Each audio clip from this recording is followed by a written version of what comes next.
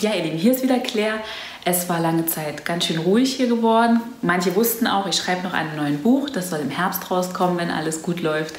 Also ähm, war klar, dass hier nicht ganz so viel los ist, einfach weil ich dann wirklich fokussiert sein muss.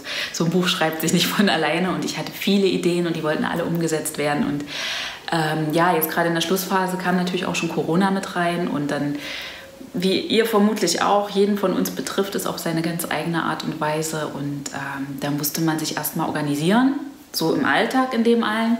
Das kennt ihr ja selber auch. Ähm, es musste aber auch innerlich erstmal rutschen. Ja, ich bin ja nun Gott sei Dank keine Influencerin oder sowas, die dann immer noch Content produzieren müssen und äh, irgendwie lächeln müssen oder irgendwas verkaufen müssen. Ich kann zum Glück es so machen, wie es wirklich sich anfühlt ähm, hier auf YouTube und ich musste das erstmal sacken lassen. Das ist eine Nummer zu groß irgendwie so für einen. Und äh, deshalb auch dieses Video. Ich habe gestern auf Instagram schon angedroht, äh, wir müssen reden. Äh, es geht einfach darum. Die Corona-Geschichte wird uns noch eine ganze Weile begleiten. Und ihr kennt mich, ich bin jetzt nicht der Guru-Typ, der sagt, ich habe die Lösung, ihr müsst nur mein Mentalprogramm machen und das Virus wird in Luft verpuffen. Zumindest für euch, weil ihr gehört dann zum erwählten Kreis oder so. Machen wir alles nicht. Äh, ich wollte aber einfach mal fragen, wie bei euch die Stimmung ist und wie sich für euch gut anfühlt, wie wir jetzt weitermachen wollen. Denn das wird noch eine ganze Weile gehen. Ja, man versucht sich immer so hochzuhalten, na, vielleicht bis zum Sommer oder so, aber vom Kopf her wissen wir ja eigentlich, äh, dass jetzt Ausdauer und Durchhaltevermögen gefragt sind. Und wir müssen natürlich auch versuchen, in dieser Zeit, die sehr schwierig ist, trotzdem noch das Leben zu sehen. Ja, äh, ich krieg, geht euch vermutlich ähnlich. Ich kriege ja Beklemmung, wenn ich jetzt mal eine Zeitung lese und es ist nur noch Corona in dem Zusammenhang, Corona in dem Zusammenhang, Corona in dem Zusammenhang.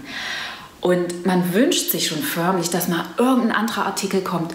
Und wenn ihr über, was weiß ich nicht, irgendwelche Nebensächlichkeiten berichtet, irgendwas, was, wo man zu Normalzeiten gesagt hat, naja, ist das jetzt so wichtig? Der berühmte Sack Reis in China ist umgefallen, aber mittlerweile sehnt man sich schon fast danach, ja, dass man äh, so ein bisschen einfach mal das Leben auch wieder gesehen wird. Bei aller Ernsthaftigkeit, bei allem Fokus, den man darauf haben muss, aber ähm, es geht ja weiter.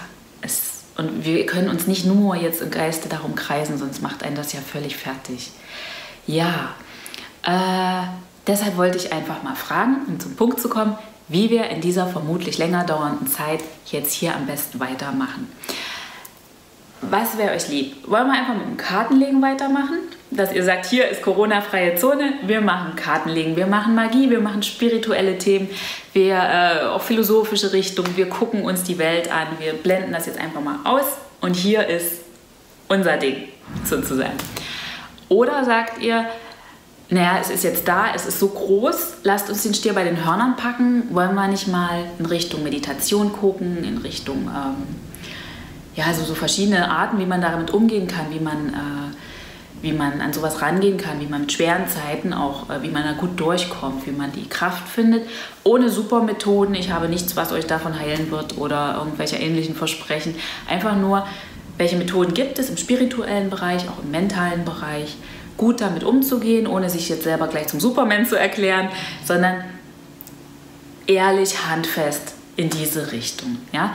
Ähm, schreibt mir einfach mal eure Meinung, eure Eindrücke, wie es euch jetzt auch geht. Ähm, da können wir, wenn wir jetzt in diese Richtung gehen wollen, auch zusammentragen, was man so äh, selber gerne macht, was für einen selber hilfreich ist. Ähm, ja, das wären also so meine zwei Ansätze. Ich würde es jetzt ungern beides vermischen. Ja, dann kommt ja immer so dieses, ach, lasst uns doch einfach alles vermischen. Ähm, ich habe gern einen Fokus, eine Richtung. So. Äh, das ist meistens besser als Multitasking und alles durcheinander, meine Meinung. Aber ich war ganz gut damit. Und deshalb wollte ich euch einfach mal fragen, von euch aus dem Herzen gesprochen, wie findet ihr es? Was würde euch interessieren?